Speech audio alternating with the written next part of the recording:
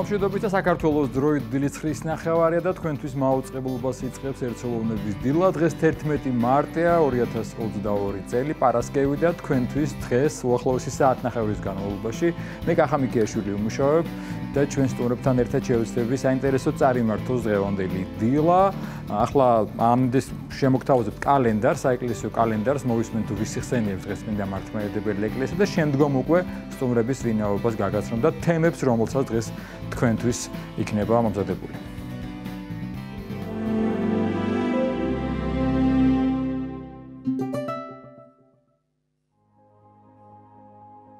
თერთმეტ მარტს წმინდა მართლმადიდებელი სამოციქულო ეკლესია მოიხსენიებს წმინდა პორფირის ღაზელ მთავარ ეპისკოპოსს წმინდა მოწამეებს ანატოლიას, ფოტოს, ფოტიდას, პარასკევას, კირიაკიას, დომნინას და სებასტიანეს. დღევანდელი დღის მფარველი წმინდანების ლოცვით და მეოხებით უფალმა დაიცვას და დაიფაროს სრულიად საქართველო. ამინ. იულოცავთ ყველას დღევანდელი წმინდანების სცენებას და თემებს და სტუმრებს რაც შეეხება. მცირე ანონს წარმოგიდგენთ, იმით რომ შეგექმნათ შთაბეჭდილება თუ რა იქნება დღევანდელ გადაცემაში თქვენთვის წარმოდგენილი ცხადია. მაშასე რამდენიმე წუთში გადაცემის პირველი სტუმარი იქნება საერმის ქუჩაზე მდებარე წმინდა გრიგოლ ხანძთელის სახელობის ტაძრის ღვთისმსახური მღვდელი იაკობ მუჯირი.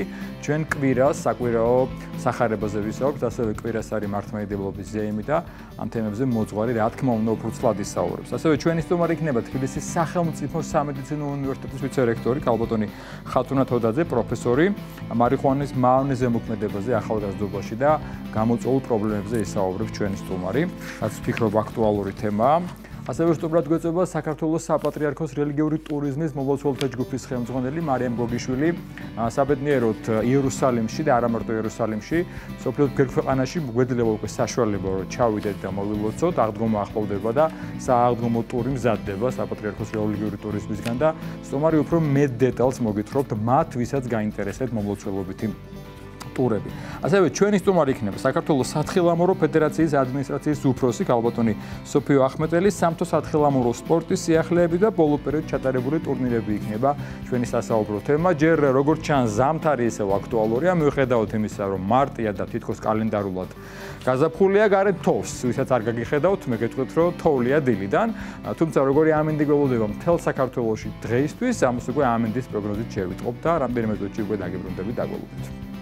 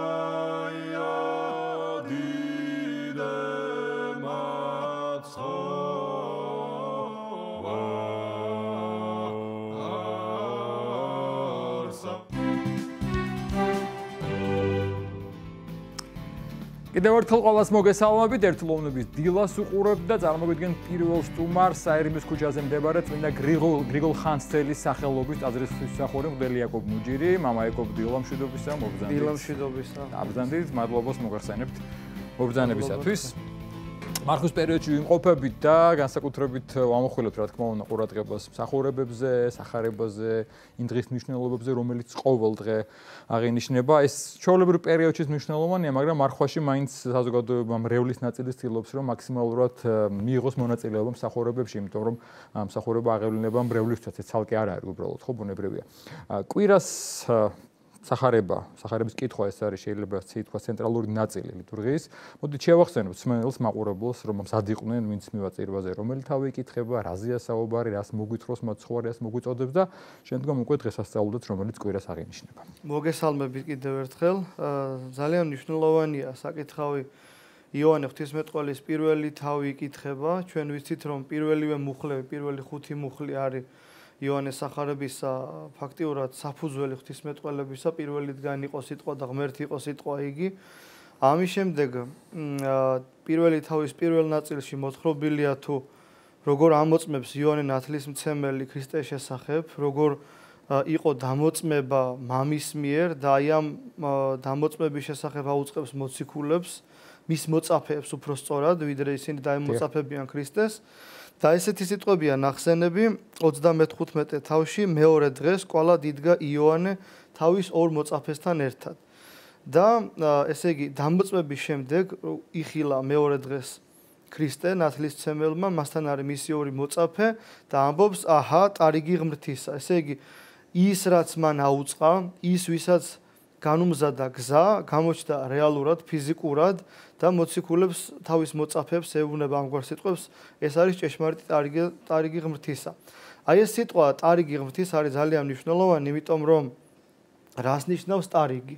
ტარიგი არის კრავი, რომელიც შეიწირა მამის სათნოყოფით და აი ამის შესახებ იყო წინასწარ უწყებული ესაიას წინასწარმეტყველებაში და ჩვენ ამას წირვის წინ პროსკომიდიის ანუ კვეთის დროს ვიხსენებთ სასულიერო პირები და ვამბობთ ვითარცა ტარიგი კლვად მიიგვარა, ვითარცა ცხოვარი კლვად მიიგვარა და უხმობელი ესრეთ არ აღაღებს პირსათვის. ანუ კვეთის დროს მაყურებელს რა უნდა? ქრისტე, დიახ, ქრისტე რომ შეიწირებოდა ამგვარად, ჯვარზე რომ საკუთარი ნებით ავიდოდა და მამისათნო ყოფილი რომ იქნებოდა და ამის წინასახე რომ ისააკი იყო და ასევე ა ブラ ამის ხორბ შეწირვა ამის შესახებ იყო ნაუწყები და ტარიგი სწორედ აი ამას ნიშნავს. როდესაც მისი მოწაფეები ამ სიტყვას იგებენ, ისინი ნათლისმცემლის ამ სიტყვებს იგებენ, ისინი მიყვებიან ქრისტეს უკან. პირდაპირ მნიშვნელობით. და ქრისტე ეკითხება გარკვეული დროის შემდეგ რას ეძიებთ, ანუ რისთვის მომყვებით? და ისინი ეკითხებიან რაბი, სადა იყოფი? მოზღვარო, სად ცხოვრობ? ქრისტე მათ პასუხობს: მოვედა იხილე, წამოდით და ნახეთ. ესაა ძალიან მნიშვნელოვანი, იმიტომ რომ ყველა სამას ქრისტე არეუბნება. როდესაც ერთ-ერთი ადამიანი ანგარებით ცდილობს რომ დაემოწაფოს ქრისტეს, მაშინ როდესაც უკვე ქრისტეს ყავს მოციქულები, მაშინ როდესაც გვადრუცი თან აქ უნდა მათ, ანუ ყულაბა შესაძირავი და ხედავს რომ ქრისტე აღასრულებს კურნებას, ერი მრავალი გარემოათქს, ანუ ბევრი ადამიანი ელოდება და პატივით იღებენ ქრისტეს და ძალმოსილება, სიტყვიერი და საქმეში აღსრულებული თან ახლავს ქრისტეს მოღვაწეობას, გადაწყვიტავს ერთ-ერთი ადამიანი, გადაწყვეტს უფრო სწორად რომ დაემოწაფოს მას და ქრისტე არეუბნება მას რომ შენ მე გამომყევი. არამედ ეუბნება რომ მელიებს აქვს სოროები ფრინველებს აქვს ბუდე, ხოლო ზესაკაცისას არ აქვს სადა თავი მიიდრიკოს. ამას იმიტომ ამბობს, როგორც მამები განმარტავენ, რომ მისი დამოკიდებულება იყო არაწრფელი.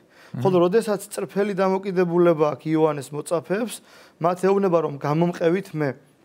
და מחარებელი იოანე ამბობს, რომ მას ღამესაშინა დაადგრეს იესოს თანა, ანუ იმ დღეს რჩებიან კიდევაც და ჟამი იყო ვითარ მეათე, ანუ საღამოს 10 საათი იყო უკვე და როგორც სხვა ადგილზე ამბობენ მოციქულები მწუხრარს და მიდრეკილარს დღე რადგან უკვე მთავრდებოდა დღე და იყო ბინდი ამის გამო რჩებიან მასთან აი ამის შემდეგ უკვე იწება დღევანდელი საკითხავი ეს მნიშვნელოვანი იყო რომ შესავალი გაგვეკეთებინა იმიტომ რომ ასე იწება დღევანდელი საკითხავი ისედაც ხსენებული ეს სიტყვები უკვე მეორე დღეს ანუ მეორე დღეს აქამდეც იყო ნახსენები და რომელი მეორე დღეა ამისათვის განმარტეთ ჩვენ ეს. მეორე დღეს გალილეის გალილეას გადაწყვიტა ქრისტემ წასვლა ეს ახალქართული თარგმანება და ნახა ფილიპე და უთხრა გამომყევი შენ მე შემომიდეგ. ხოლო ფილიპე ბეცაიდელი იყო ანდრიას და პეტრეს თანა მოქალაქე, მოვიდა ფილიპე ნათანაელთან და უთხრა პოვეთ მესია. ეს არის ძალიან მნიშვნელოვანი. როდესაც ნათანაელი ამ სიტყვებს ისმენს, პოვეთ მესია, ის პირდაპირ მნიშვნელობით არ იღებს ამ სიტყვებს, ასე მარტივად არ ემოწაფება შეიძლება ითქვას ქრისტეს და ერთგვარი კრიტიკული აზროვნება გამოხატული მისი მხრიდან და ეუბნება ნაზარეთით შესაძლებელი არ საკეთილისა რა ისამე ყოფად? ნაზარეთი არაფრით გამორჩეული არ ყოფილა ქრისტეს განკაცებამდე. არც ისტორიული მნიშვნელობით არც რომელიმე ცნობილი ადამიანი წარმომსდგარა მის წიაღში არც ნეგატიური კუთხით არ ყოფილა გაჟღერებული აი ეს დასახლება იმიტომ რომ ნეგატიურში რა იგულისხმება დაუშვათ მეამბოხეც კი არ შობილა იქ როგორც მარკოხემი იყო როგორც იუდა და თევდა რომ ცუდი კუთხით გაჟღერებულიყო ეს რეგიონი. და ამიტომაც მიუხედავთ იმისა რომ არსებობდა მრავალი წინასწარმეტყველება აა მესიასთან დაკავშირებით, მის განკაცებასთან დაკავშირებით, ის ტოპონიმები, რომელიც დაკავშირებული იყო მესიის მოღვაწეობასთან, იყო ხსენებული, მაგალითად ეგვიპტით უწოდე ძესაჩემს ამისთვის აღვამაღლო იგი და ნაზარეველ ეწოდოს. ესეც იყო ნახსენები მესიასთან დაკავშირებით, მაგრამ მიუხედავად ამისა, რადგან აი ამ წინასწარმეტყველებას, ამ სიტყვებს საუკუნეები აშორებდა ძველი აღთქმის მოქალაქეს მართალია ეს სიტყვები ქონდა გაგონილი, მაგრამ დიდი დრო იყო გასული ამ წინასწარმეტყველების გაჟღერებიდან. ადამიანთა შორის მყარი და ცოცხალი რწმენა ამ სიტყვებისადმი არ იყო. და როდესაც იონი ნათლისმცემელი არის საპრობილეში, მიავლენს ორ მოწაფეს და ეკითხება, შენ ხარ მომავალი, ანუ სხვა სამოველოდოთ. ანუ შენ ხარ მესია თუ სხვა უნდა იყოს განკაცებული ღმერთი, რომელიც გამოიხდის კაცობრიობას. ეს სიტყვები, რა თქმა უნდა, ნათლისმცემელს არ ჭირდება, ის რომელიც განმამზადებელია უფლის გზისა, მაგრამ ეს ეჭიროება მის მოწაფეებს, იმიტომ რომ ისინი სარწმუნოებაში განმტკიცებას საჭიროებენ. და თუ კი მათ ჭირდებოდათ ეს ძალიან ბევრი ადამიანი იყო ამგვარი რომელმაც იცოდა ჟული წინასწარმეტყველება მაგრამ რაღაცნაირად ეჭვი ეპარებოდა და განმტკიცება ჭირდებოდათ მათ. მოკლედ მიუხედავად იმისა რომ ნაზარეველ ეწოდოს იყო ნახსენები მაინც ეჭვის თვალით უყურებს ჟულის ამ სიტყვებს ნათანაელი და ამბობს იმ სიტყვებს რომელიც უკვე ვთქვით და ძალიან საინტერესოა რას პასუხობს ფილიპე? მткиცებითი ფორმით არ იწყებს საუბარს, არ ამткиცებს, არ ადასტურებს, პოლემიკაში არ შედის მასთან, ძალიან მარტივად და ქრისტიანულად პასუხობს შეიძლება ითქვას და ეს არის ჩვენთვის სამაგალითო და იგუნება ამგვარ სიტყვებს მოდი და ნახე, მოვედ და იხილე. აა და აი ამის შემდეგ აა როდესაც უფალმა იხილა ნათანაელი ამბობს ამგვარ სიტყვებს. აჰა ჭეშმარიტი ისრაიტელი რომლისა თანა ზაკვაი არა არს. ა ნათანაელი პირველად მიდის უფალთან. და თან ეჭვის თვალით უყურებს ამ ყოველივეს როგორც უკვე ვთქვით და უფალი მას აქებს. და ის ეკითხება ვინაი მიცი მე უფალ ბატონო საიდან მიცნობ მე საიდან იცი ჩემ შესახებ? და უფალი პასუხობს ვიდრე ფილიპეს ხმობადმდე პირველ სამ ესე იგი გიხილე შენ ლეხვსა ქვეშე. ესე იგი სანამ შენ მოგიყვანდა ჩემთან მოციქული მე ლეღვის ქვეშ გიხილე შენ არის ამგვარი განმარტება რა ხდება ლეღვის ქვეშ? როგორ შეიძლება და ლეღვის ქვეშ ენახა ქრისტეს იგი?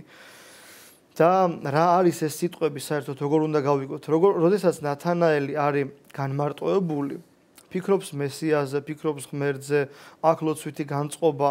აი ეს მდგომარეობა იყო ლეგვის ქვეშ ყოფობა და რატომ? იმიტომ რომ მოიხსენებათ პალესტინაში არის ძალიან დიდი სიცხე, მაღალი ტემპერატურა და ხე და ზოგადად მით უმეტეს ფოთლოვანი, ისეთი ფოთლოვანი ხე როგორიც არის ლეღვი, არის მოსასვენებელი ადგილი, სადაც ადამიანს ეძლევა საშუალება რომ ამოისუნთქოს და აქედან გამომდინარე, როდესაც ერთგვარი ფიზიკური განსვენების საშუალება ეძლევა, მე სულერადაც იღვაწოს, იმიტომ რომ სიცხეში ამის საშუალება ადამიანს არ ეძლევა. აი ამ დროს მხოლოდ და მხოლოდ მარტოა ნათანაელი, სხვა არავინ იმყოფება მის გვერდით და რა ძიება, რა სულიერი მისწრაფება ქონდა მას მხოლოდ მან იცის. და გულთამხილველი ღმერთი უნდა იყოს ის, ვინც ამას ეტყვის რომ გიხილე შენ. ამით უფალი ეუბნება რომ მე ვარ მესია. და ის ეჭვი რომელიც ჩვენ ქონდა ნაზარეთთან დაკავშირებით, ჩემ ხილვასთან დაკავშირებით, უნდა გაქარწყლდეს, იმიტომ რომ მე ვარ გულთამხილველი ღმერთი და რას ფიქრობდი შელეღვის ქვეშ, ისიც კი ვიცი და აქედან გამომდინარე ვამბობ რომ შენ ხარ ჭეშმარიტი ისრაიტელი, ანუ ჭეშმარიტად ჯულის აღმასრულებელი და უზაკველი, ანუ უცოდველი ადამიანი. ეს გვაძლევს ერთგვარ სითამამებს ჩვენ სარწმუნოებრივ ცხოვრებაში. თომას მაგალითი, ფილიპეს და ნათანაელის მაგალითი, იმიტომ რომ ეს ადამიანები არა ურწმუნოებით, არა არამედ მეძიებლობით და უფრო მეტი სულიერი მოშურნეობით აჟღერებენ ამ კითხებს. ამ შემთხვევაში თომა მოციქული როდესაც ამბობს რომ თუ არ ნახავ თუ ხელს არ შევახებ და თუ არ დავრწმუნდები ვერ ვაღიარებ რომ ქრისტე აღდგა ამ ეს სიტყვები ნაზარეთის შესაძლებელი არ საკეთილისა რაისამე ყოფათ ფაქტიურად არის პარალელური ტექსტი. ამგვარივე мотиваციით გასაგერებული და რა ურწმუნოებით. და მიუგო იესომ და უთხრა: "გწამს ვინაიდან გითხარი, ლეღვის ქვეშ მყოფი გიხილე, ამაზე მეტიც იხილო." აი ამას აღუთქვამს მას და რა არის ამაზე მეტი?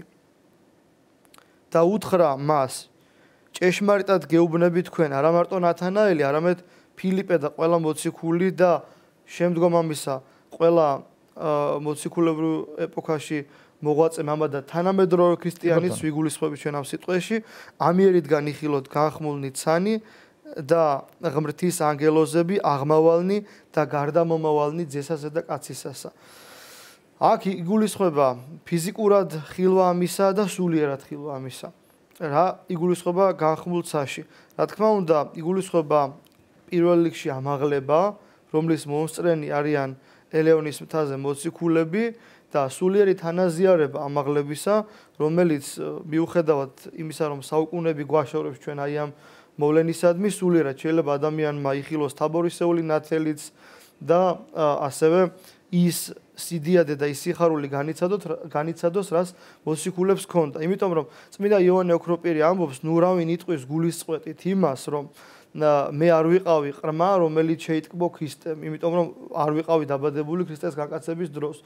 ნუ რა ვინიტყვის იმას, რომ მე უშუალოდ ვერ ვისმინე ნათლის მცემლის ესაიას ან თავად განკაცებული უფლის სიტყვები, როდესაც იგი ქადაგებდა ან წინასწარმეტყველებდა, რადგანაც როდესაც ჩვენ ვართ ღვთისმსახურების დროს და გვესმის სამოციქულო უსმენთ პავლე მოციქულს იოანე ქროპირი ამბობს, როდესაც ჩვენ გვესმის სახარება მათესი, მარკოზისა, იოანე ღვთისმეტყველისა თავად უფლის სიტყვები გვესმის და იხსენებს პავლე მოციქულის სიტყვებს, რომ იესო ქრისტე გუშინდა დღეს იგი თავადი არს უკუნისამდე. არანაირი ცვალება მადლთან მიმართებაში არ არსებობს. იგივე თანაზიარება, იგივე სიხარული, იგივე სისავსე მადლის მიერ მოგვენიჭება ჩვენ, როგორც ქონდა მოციქულებს პირველ საუკუნეში. კი ბატონო, ძალიან დიდი მადლობა შენიერ განმარტებაა და ალბათ მათ ვინც მივაკვირა წირვაზე, უფრო მომზადებული იქნებიან. მამა იაკობ ასევე კვირას, ანუ დიდმარხვის პირველ კვირას ეკლესია იხსენებს და ზეიმობს მართლმადიდებლობის ზეიმს.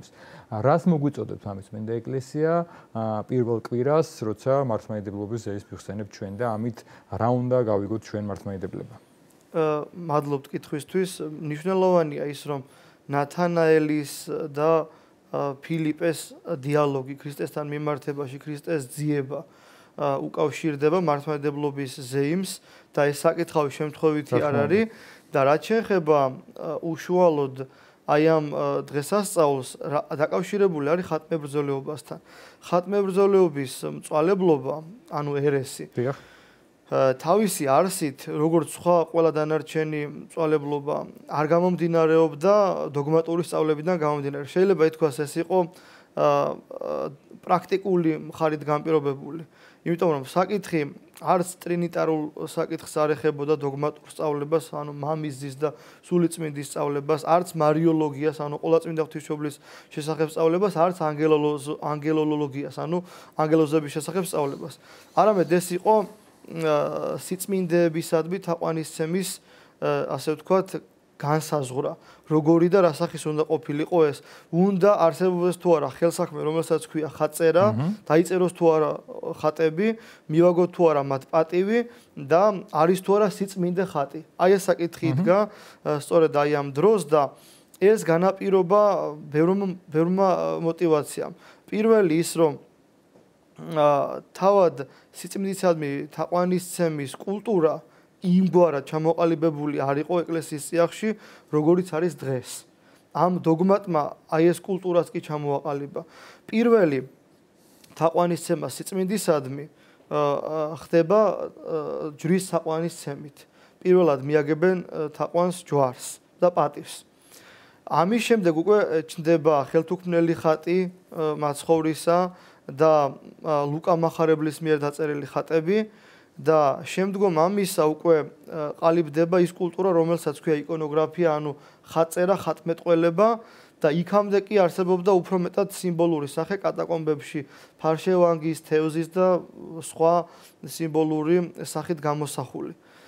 აი ეს საკითხი იდგა დღის წესრიგში, იყო თუ არა მართებული, ასე ვთქვათ, ხათაყვანისცემა, მადამი თაყვანისცემა და იმგვარი კრძალვა, როგორც სიწმინდისადმი კრძალვა.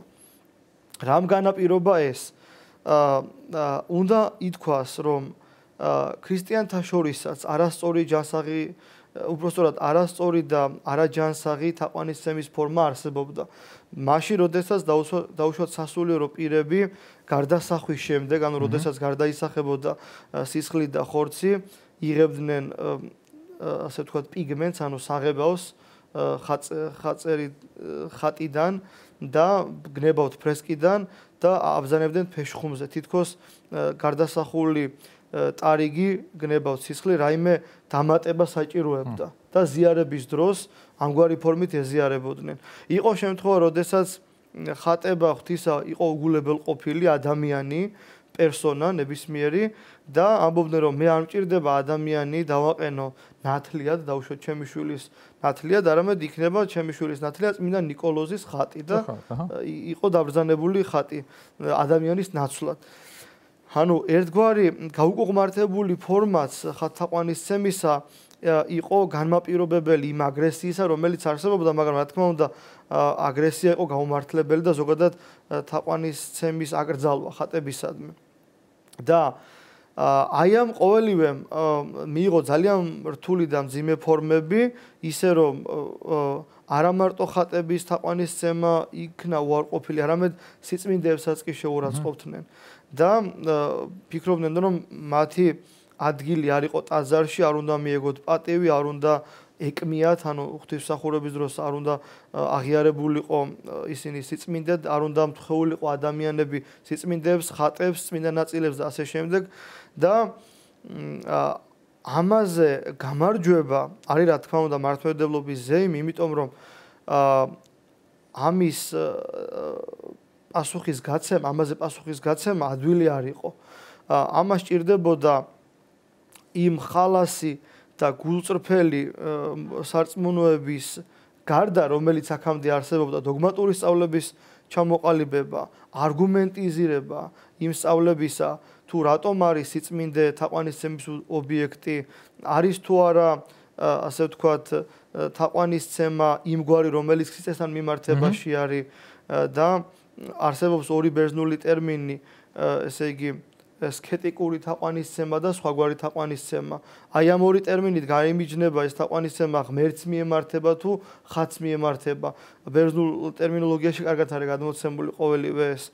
ამიტომ ძალიან ბევრი რამ ჩამოყალიბდა აი ამ პრობლემის გან გამომდინარე იყო ეს ყოველივე და ძალიან ბევრი რამ ჩამოყალიბდა დოგმატური სწავლების მიმართებაში და უფრო მოწესრიგებული და ასე ვთქვათ, სულიერი კულტურის სფერო უფრო გამდიდრდა და უფრო მეწესრიგებული იქნა ყოველივე ეს და ამიტომაც არის ზეიმი მართლმადიდებლობისა და მნიშვნელოვანია ის რომ მონაზნური დასი ძალიან დიდ თავგანწირვას იჩენს აი ამ სიწმინდეების დაცვის დროს სტუდიის მონასტერი განსაკუთრებულად და სხვა მრავალი მონასტერი მაშინ როდესაც ასე ვთქვათ საერო იერარქია თეთრი სამღდელოება თუ ერის ადამიანები ვერ ახერხებენ სიწმინდების დასვას ისე იმგვარი თავგანწირვით როგორც ეს შეძლო მონასტრებმა, მონაზვნებმა და საერთოდ ხარისხში არ ყოფმა ადამიანებმა, იმიტომ რომ მონაზნობა არის ცხოვრების წესი და არა ხარისხი.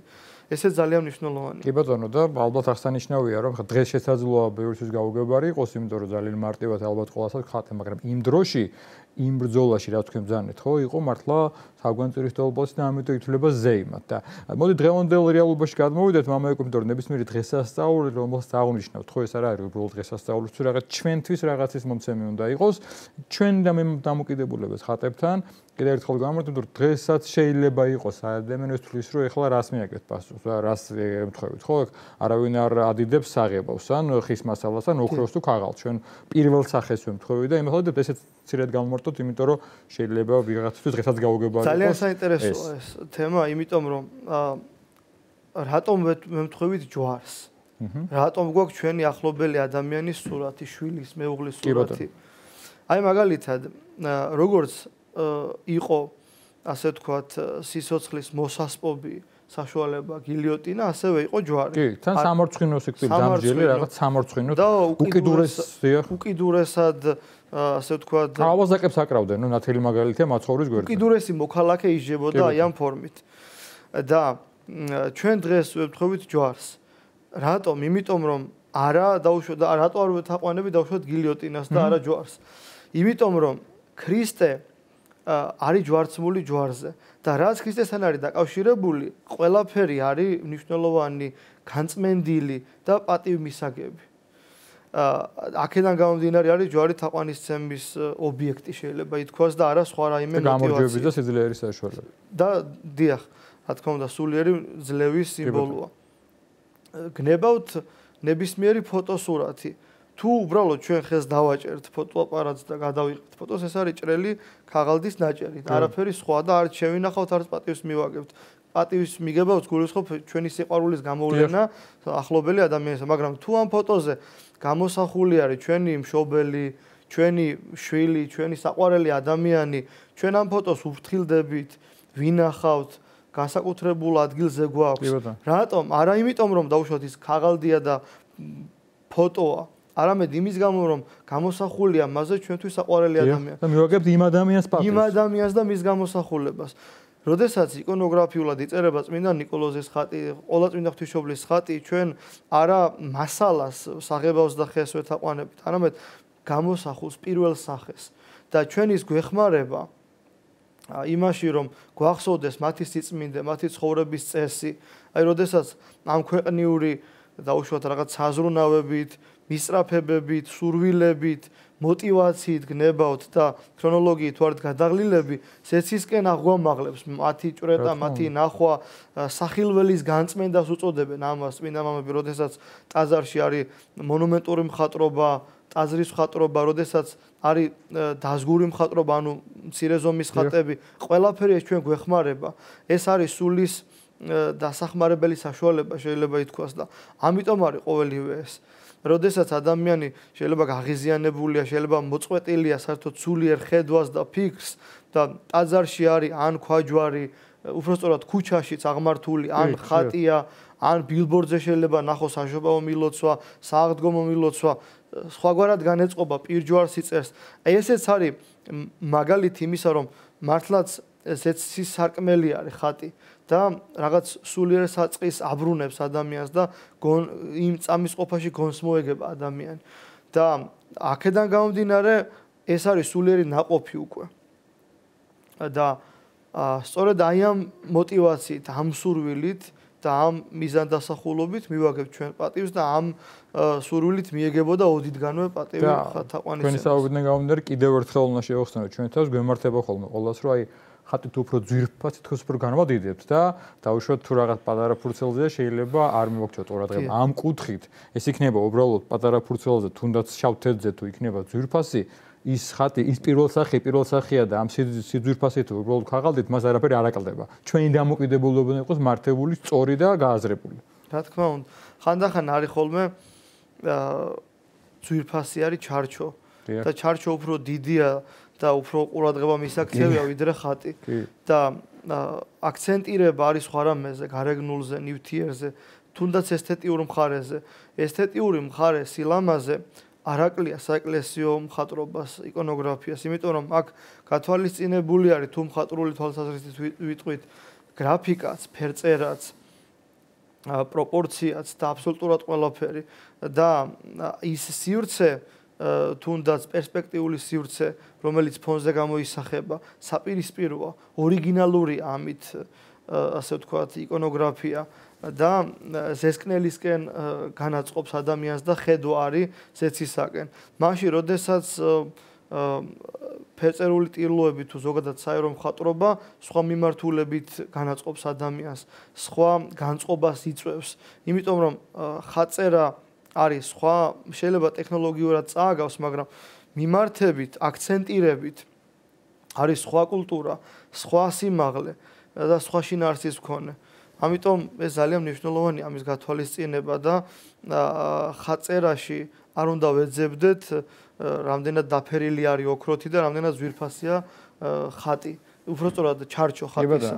დიდი მადლობა მამა იაკობ, უღრმესი მადლობა. მე შევახსენებ ჩვენს მაყურებელს, თქვენ საუბრებოდა საერთო ქუჩაზე მდებარე წმინდა გრიგოლ ხანძთელის ტაძრის ღვთისმსახური გუდელი იაკობ ნუჭირი. დიდი მადლობა მამა იაკობ საინტერესო საუბრისთვის. 9 საათი მოახლოვდა ძვირფასო ტელემაყურებლებო, რაც ტრადიციულად ჩვენს ეთერში ლოცვის დროა, მოვისმენთ ლოცვას და რამდენიმე წუთში უკვე მომდენო სტუმრი და ძალიან საინტერესო თემი დაგიბრუნდებით, დაგვალუტეთ.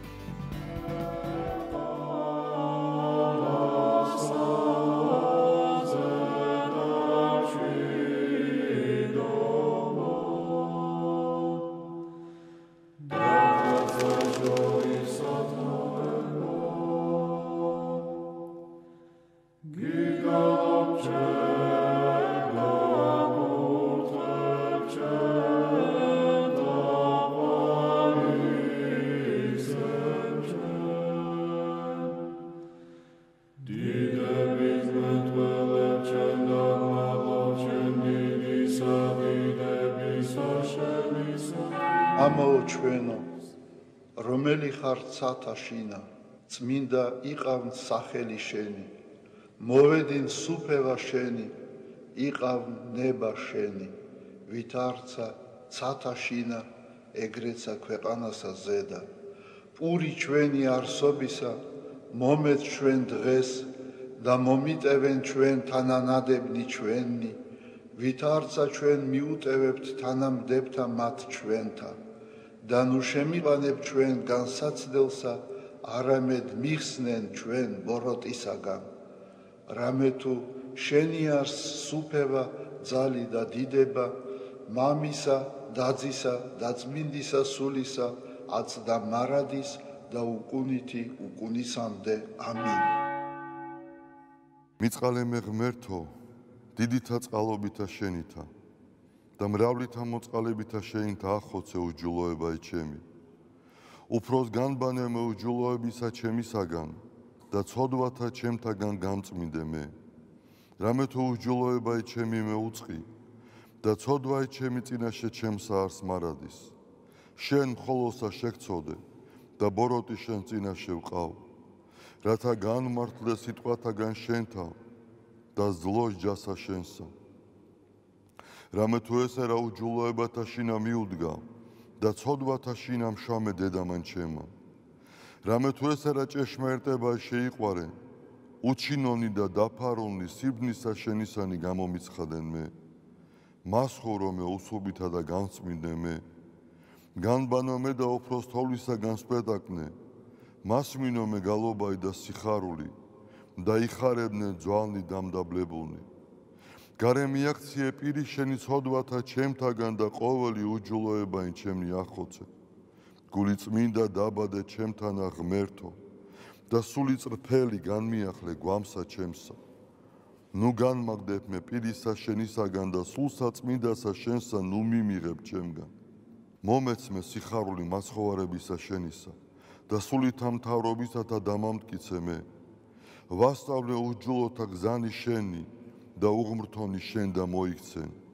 მიხსენ მე სიცხთაგან ღმერთო ღმერთო ცხოვრებისა ჩემისაო. იხარებდე სენა ჩემი სიმართლესა შენსა. უფალო ბაგენი ჩემნი აღახვენ და პირი ჩემი უთხრობდეს ქებულებასა შენსა. რამე თუ უკეთუმცა გენება მსხვერპლი შემცა მეწირა არამედ საკვერთხი არ აქთნდეს მსხვერპლი ღმრთისა არს სული შემოსრული გული შემოსრული და დამდაბლებული ღმერთმა ნარა შეურაცხოს. კეთილი უყა უფალო ნებითა შენითა სიონსა. და აღეშენენ ზღუდენი იერუსალიმისანი. მაშინ გთნდეს მსხერპლის სიმართლისა შესაწირავი და ყოვლად დასაწველი. მაშინ შესწირნენ საკურთხეველსა შენსა ზედა ზვარაკნი. დიდება მამასა და ძესა და წმინდასა სულსა აწდა მარადის და უკუნითი უკუნისამდე ამინ. ალილუია ალილუია ალილუია. დიდება შენ და ღმერთო. ალილუია ალილუია ალილუია. დიდება შენ და ღმერთო. ალილუია ალილუია ალილუია. დიდება შენ და ღმერთო ჩვენო დიდება შენ და. ღვთისმშობელო ქალწულო გიხაროდენ მიმადლებულო მარიამ უფალი შენთანა კურთხეულ ხარ შენ დედათა შორის და კურთხეულ არს ناყოფი მუცლისა შენისა. რამე თუ მაცხოვარე გვიშევ სულთა ჩვენთა. უფალო დიდება შენ და გადაარჩინე და გამთლიანე საქართველო. უფალო დიდება შენ და გადაარჩინე და გამთლიანე საქართველო. უფალო დიდება შენ და გადარჩინე და გამთლიანე საქართველო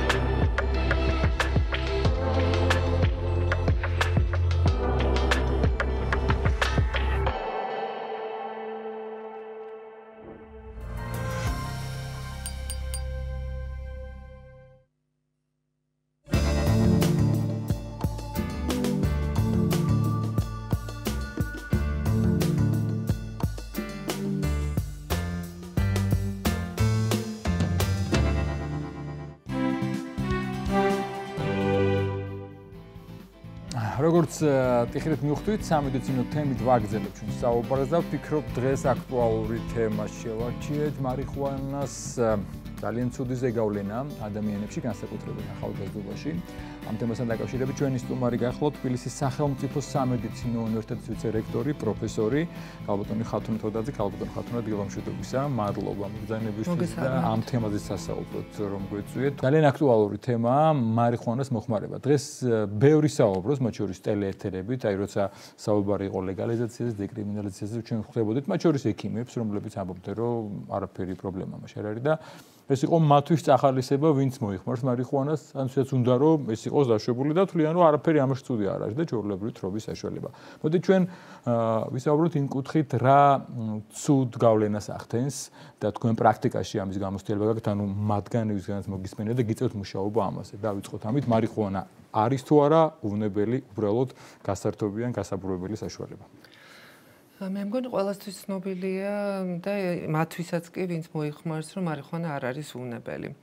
მარიხუანა არის ფსიქოტროპული ნივთიერება, ეს არის ფსიქოდელიური საშუალება, ანუ საშუალება, რომელიც იწევს ადამიანის ცნობიერების აღქმის შეცვლას.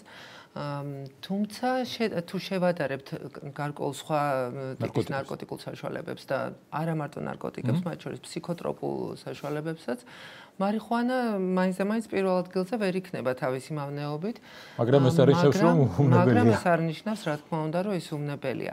ეხლა ვინაიდან ჩვენ მაინც უფრო უარყოფით მხარეებზე გვინდა არა დღეს საუბარი. მოკლედ გეტყვით რომ მარიხუანას როგორც ერთჯერადი მოხმარება, ანუ აი მწვავე თრობის მდგომარეობა არის სახიფათო, ასევე მისი ქრონიკული ხანგრძლივი მოხმარება. ეხლა როდესაც ლაპარაკია თრობაზე, არა თრობის დროს რა არის განსაკუთრებით მნიშვნელოვანი. ძალიან ბევრ პიროვნებაში, ბევრ ადამიანში ეს იწევს გარკვეულად როგორც მოგახსენეთ აღქმის შეცვლას და გარემოს ადამიანი ისე ვერ აღიქვას, რაც რეალობაშია. ამ დროს განსაკუთრებით მნიშვნელოვანია ეს რომ რაღაც განსაკუთრებული შეგრძნებები აქვთ.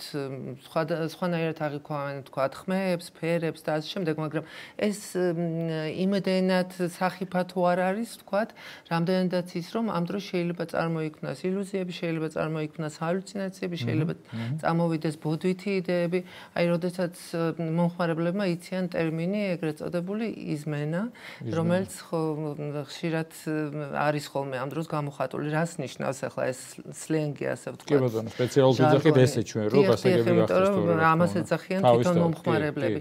ეს არის პარანოიდული რეაქცია, რომელიც როგორც წესი ხანმოკლე ახულმე, როდესაც ადამიანს აქვს შიში, რომ ვიღაცა უთვალთვალებს, ვიღაცა მოძებს, ვიღაცა მასე რაღაცას ამბობს, მასაკვირდებიან და ამის გამო მას რაღაცა გარკვეული დისკომფორტი ძალიან ხშირად შიშის განცდა ეუფლება და ცდილობს ხოლმე რომ ამისგან თავი დაიცვას. როგორც წესი, აი ეს მდგომარეობა მაინც შედარებით ისე მარტივად სრულდება ხოლმე, განსაკუთრებით თუ ადამიანმა იცის რომ ეს შესაძლოა იყოს ნარკოტიკი აი დიახ, ან ვიღაცა ვინც გვერდზე ყავს რომელიც აუხსნის რომ ნუ გეშინია და რომ პანიკაში არ ჩავარდეს ხო და ასე შემდეგ თუმცა არის შემთხვევები, როდესაც ამ დროს ადამიანი შეიძლება უკონტროლო გახდეს და მისი ქცევა იყოს უკვე საფათო როგორც მისთვის, ასევე გარემონყოფებისთვის. კიდევ ერთი მომენტი მინდა აუცილებლად აღვნიშნო, წვავე მიღების დროს, ანუ მარიხუანათი თრობის შემთხვევაში ძალიან მნიშვნელოვანია ეს, რომ ამ დროს ირღვევა დროის შეგრძნება ირღვევა სივრცის მანძილის შეგრძნება განცდა, რასაც ჩვენ მიჩვეულები ვართ, ხო? აი ვთქვათ, ახლა მე საჭესთან ვზივარ, ვხედავ მანქანას, რომელიც არის ვთქვათ, სადღაც 100 მეტრში და დაახლოებით ვიცი, მე ჩემი სიჩქარე, მანქანის სიჩქარე უნდა შევანელო, გავზარდო თუ რა უნდა. ადეკვატური ხარ. დიახ, მაგრამ როდესაც აი ესეთი ფსიქოდელიური ნივთიერების თრობის ქვეშ არის ადამიანი, ის ამას ვეღარ საზღვრავს, ამიტომ ძალიან სახიფათო არის ამ დროს სწორედ აი ეს რეაქციები რომელიც ძალიან შეცვლილია. ძალიან სწორი რამ აღნიშნეთ, მე სხვათა შორის არაერთხელ მოვისმენე ბევრი ადამიანის და ვფიქრობ აბსოლუტურად სამართლიანად, იმიტომ რომ ჩვენ ვიცით, რომ თუ ადამიანი ალკოჰოლით თრობის ქვეშ არის, მას აქვს ჯარიმა, შეიძლება მართლმსაჯულების ჩამბართ, მას შემდეგ. რატო? იმიტომ რომ უკონტროლია იმ დროს, ხო? ამიტომ მე ვფიქრობ, თუ სახელმწიფომ შეამსუბუქა დაუშვათ მარიხუანას მომხმარებელთა მიმართ კანონები, მაშინ ეს უნდა განესაზღვროს, იმიტომ რომ ძღოლი თრობის ქვეშ არის მარიხუანა თუ ალკოჰოლით რა განისაზღვრება, იმიტომ რომ თქვენ ვეძახ არაადეკვატური აღქმის უნარი არის სხვანაირი, ხო და შეიძლება მარიხუანას თრობის დროს ასევე დაუშვა შეცდომა და ძალიან ცუდ შედეგები მივიღეთ. ძალიან მაღალი რისკია მაგისი და ავტოავარიები ძალიან ხშირია. კი ბატონო, ხო, ადი თქვენ აღნიშნეთ ის ფრაზა, ხო, მეც თლენგით ვიტყვი, აი ძალიან ხშირად მომისმენთ დარჩენილიაო, ხო? ეს როდის უწევთ, როცა ადამიანი გასული აღარ აქვს დროის შეგრძნება, აღქმის რაღაცა ის უგაღიმებული დადის ბევრი ვიწ ხშირი მომხმარებელი სამწუხაროდ მე იმთავობის ადამიანი ვარ რომ რომელს ბავშვობაში ბევრი მოიხმარდა და ჩემი თანატოლები მართლა არაჩვეულო ახალგაზრდები ну გავიდნენ და არაადეკვატურები გახდნენ სამწუხაროდ. ეს რა პროცესია და მათ ვისაც ხშირად მსმენია რომ ისეთი თრობის ქვეშ არიან რომ ლოცულობენ აი ეხა გამოვიდე და მეც აღარ ვიზავ და მაინც ემართებათ. აი პრაქტიკაში როცა გაქვს მათთან საუბარი, ნისკენთან მოდის რაღა დახმარებით, რომ რა მომენტია, რას საუბრობენ და როგორ შეიძლება ამისგან თავის დანერება, იმიტომ რომ ძალიან დამოკიდებულ ხდის როგორც მე ხვდები, ეს თვითითქოს უწყინარი უბრალოდ თრობის პროცესი. აბსოლუტურად გეთახმებით. ეხლა აი ეს რაც თქვენ აღნიშნეთ, არა, არის იმის შედეგი, რომ ზოგიერთ პიროვნებაში, ზოგიერთ ადამიანში კანაფით, ანუ მარიხუანას ვეძახით ერთ-ერთ მისახეობას, თრობა იწევს გახანგრძლივებულ აი ამ პსიქოზურ რეაქციას, რომელიც შეიძლება სხვადასხვანაირად გამოიხატოს. ეხლა ერთი მომენტი, რაც ძალიან მნიშვნელოვანია და მაყურებელმა უნდა იცოდეს, გახლავთ ის, რომ კვლევებით არის დადგენილი და ეს არ არის უბრალოდ ვიღაცის აზრი და ერთეულ შემთხვევის თქვა აღწერა. დადგენილია ის, რომ ადამიანებს, ვისაც აქვთ მიდრეკილება ფსიქიატრიული სნეულებების მიმართ, ფსიქიკური სნეულებების მიმართ, ხო? თქვათ შიზოფრენიის გარკვეული ტიპის მიმართ. აი ასეთი ადამიანებისთვის განსაკუთრებით საფათოა მარიხუანა და მარიხუანას ტიპის ნივთიერებების მოხმარება, ვინაიდან ისინი მოწყვლადები არიან. და ძალიან დიდი შანსია, რომ სწორედ თქვენ რაც ბრძანეთ, მარიხუანამ გამოიწვიოს გამოვლინება აი ამ პროცესის, რომელიც შესაძლოა ფსიქოაქტიური ნივთიერებების ზეგავლენის გარეშე ან იმ მომენტში არ გამოვლენილიყო იმ პერიოდში ან საერთოდ მთელი ცხოვრების განმავლობაში მისი манифестаცია არ მომხდარიყო. ამიტომ ეს უკვე კარგად ცნობილი ფაქტია, რომ ის ადამიანები, ვისაც გენეტიკურად ან ვთქვათ რაღაცა მანამდე არსებული სიმპტომებით აქვთ გარკვეული ნევროლოგიური და ფსიქიატრიული პრობლემები, არა, მათთვის კანაფი არის სახიფათო და ისინი ყველანაირად უნდა ერიდნენ, თუნდაც ერთჯერად მოხმარებას. ეხლა თქვენ ახალგაზრდებზე ბრძანეთ, ხო? ახალგაზრდებთან დაკავშირებით მნიშვნელოვანი კვლევები ჩატარდა, იმიტომ რომ თელ მსოფლიოში მიდის დებატები დღეს იმის თაობაზე, რომ რა უყოთ ამ მარიხუანას, ვინაიდან რეალურად უამრავი ადამიანი მოიხმარს და შეზღუდვებმა მაინც და მაინც ვერ გამოიღო სასურველი შედეგი. ამიტომ თქვენ იცით ალბათ დამაყურებელსაც მოეხსენება, რომ ბევრი ქვეყანა უკვე წავიდა გარკვეული ლეგალიზაციის, დეკრიმინალიზაციის და ნუ ზოგიერთები ლეგალიზაციის. ამ შემთხვევაში ან ვაგზაული ხილი აღარ არის და უფრო ნაკლებია საფრთხე. დიახ, დიახ, არის ეს და გარდა ამისა, ვთქვათ, უმჯობესია თვლიან, რომ უმჯობესია ეს იყოს კონტროლირებადი გარკვეულად სახელმწიფოს მიერ, იგივე ვთქვათ სამედიცინო დაწესებულებების ან რეკრეაციული დაწესებულებების მიერ, ვიდრე ამას ადამიანი აკეთებდეს უკონტროლოდ და ვთქვათ იქ რაღაცა გარკვეული ზიანი შემცირების რჩევები მიეცეს და ასე შემდეგ. მაგრამ რაც არის ძალიან მნიშვნელოვანი და რაც დაამტკიცა ლონგიტუდურმა კვლევებმა, ანუ ხანგრძლივ პერიოდში ჩატარებულმა კვლევებმა 25-30 წელი იკვლევდნენ ერთსა და იმავე პოპულაციას. აღმოჩნდა ის რომ თუ მოზარდი იღებს მარიხუანას ანუ მანამ სანამ ცენტრალური ნერვული სისტემა ჯერ კიდევ ფორმირების პროცესშია და ეს არ არის სხვათა შორის 18 წელი როდესაც ჩვენ თქვა თუ თვლით იურიდიულად რომ მოზარდობა დამთავრდა და ადამიანის დასრული ხდება დაახლოებით 21-24 წელი არის. აი ამ ასაკამდე მარიხუანას მოხმარება ძალიან აქვეითებს მნიშვნელოვნად აქვეითებს ადამიანის ინტელექტუალურ კოეფიციენტს.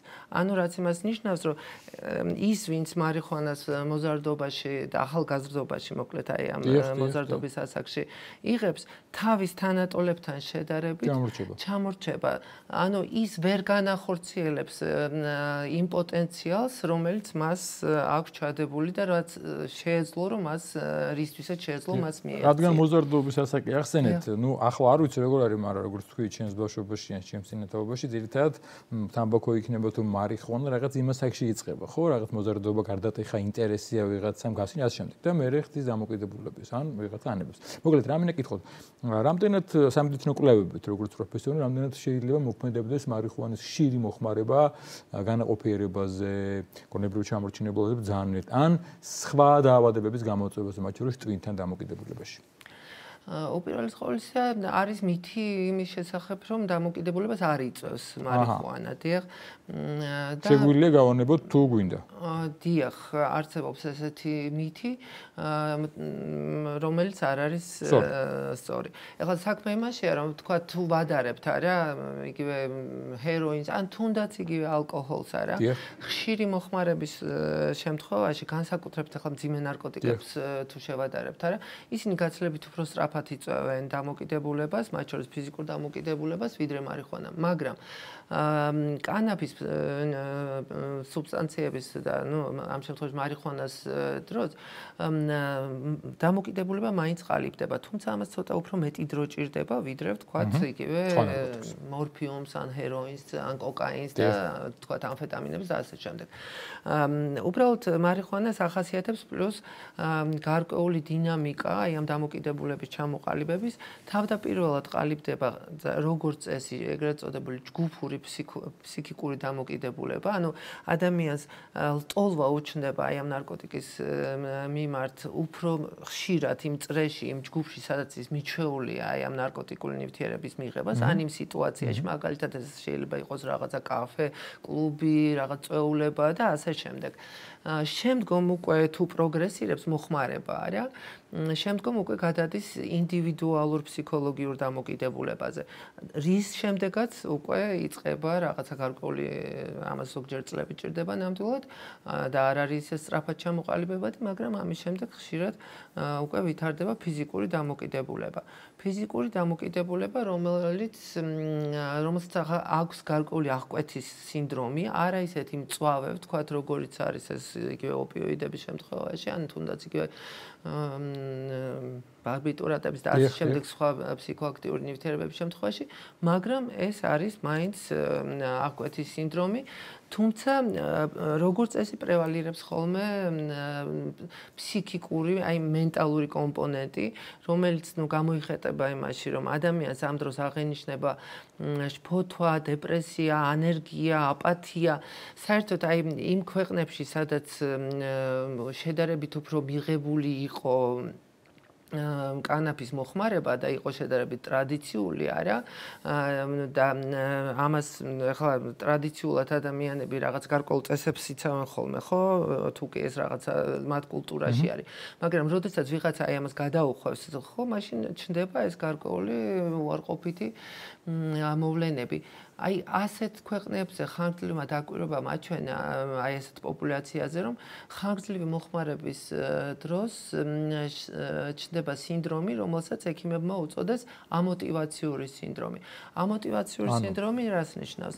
მოტივაცია ხო? ანუ რაღაცა რაც გამოძრავებს ადამიანს მიზანდასახულობა და ასე შემდეგ. მიზანდასახულობა სურვილი და სტრაფვა რომელიც ქმედებით გამოიხატება საბოლოოდ არა? ეს არის ნებელობითი აქტი ასე ვთქვათ. რაც ადამიანებს გვახასიათებს და ეს არის ერთ-ერთი რაც გამოგვარჩევს ვთქვათ ცხოველებისგან არა და აი ეს რაც ყალიბდება მარიხუანას და კანაფის ხანგრძლივი მოხმარების დროს ეს ამოტივაციური სინდრომი სწორედ იმას აღნიშნავს რომ ადამიანს ეკარგება ყველაფრის კეთების სურვილი. ის არის აპათიური მას მხოლოდ და მხოლოდ მარიხუანას მოხმარება ესაჭიროება უნდა ანუ მისი ერთადერთი სურვილი ეს არის ის რომ მოიხმაროს მარიხუანა თან ეს როგორც წესი უკვე ხშირად 2-3 საათში ერთხელ ესაჭიროება. ანუ სულთრობის ქვეშ უნდა იყოს. სულთრობის ქვეშ უნდა იყოს, სხვანაირად ის არის მას ენერგია არ აქვს, უმოქმედო, მოდი ესე ვთქვა. უმოქმედოა დიახ და არაფრის სურვილი არ აქვს და არაფრის კეთება დიდად არც შეუძლია. ну რაც რა თქმა უნდა ძალიან ცუდია მისთვის, ამიტომ ერთადერთი რჩევა რაც შემიძლია მივცე ეს მაყურებელს რა თქმა უნდა რომ არ მოიხმარო. და კიდევ ერთი შეკითხვა, ფაქტობრივად ჩვენ დრო იწურება, როცა ლეგალ ლეგალიზაციაზე იყო საუბარი, ესეთი ვერსიებით მოვისმინე, რომ პირიქით ბევრ ქვეყანაში სამედიცინო კუთხით გამოიყენება, ეს არის სასარგებლოს, უნდა იყიდებოდეს ასე შემდეგ. ეს რამდენად სწორია და თქვენ თუ ეთანხმებით ამაზე, თუ მართლა არსებობს, რომ მარიხუანა შეიძლება კონდეს სამკურნალო თვისებები და ახლა მარიხუანა ცალკე თუ შეიძლება აპტეკში იყიდებოდეს დამამშვიდებლად და ტკივილ გამაყოჩებლად. მარიხუანას აქვს კანაფს აქვს ნამდვილად სამკურნალო თვისებები, მაგრამ არა ისე როგორც ჩვენ მოვიხმართ. არა ისე როგორც ჩვენ მოვიხმართ. მე არა, მაგრამ ის მოვიხმართ. ნუ ჩვენ გულისხმობა ამ შემთხვევაში საზოგადოების საზოგადოება დიახ.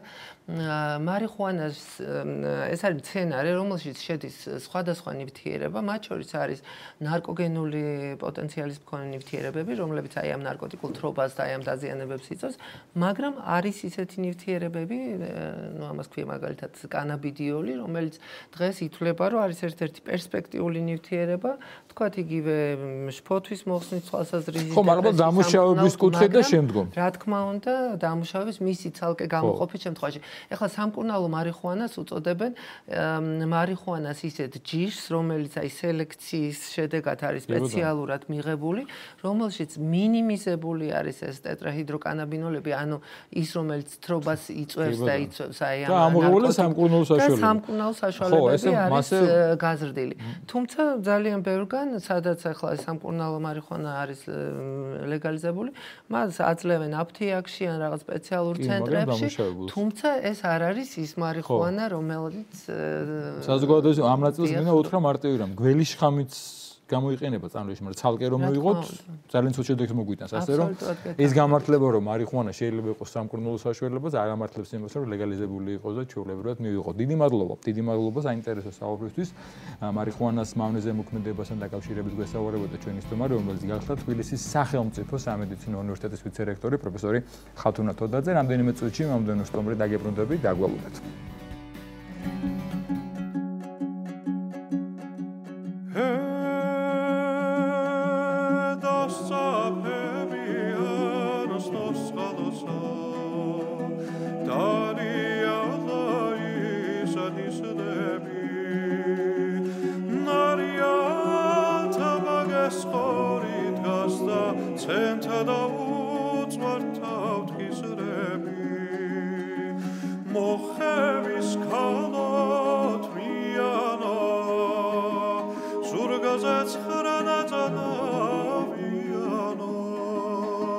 nos hijas.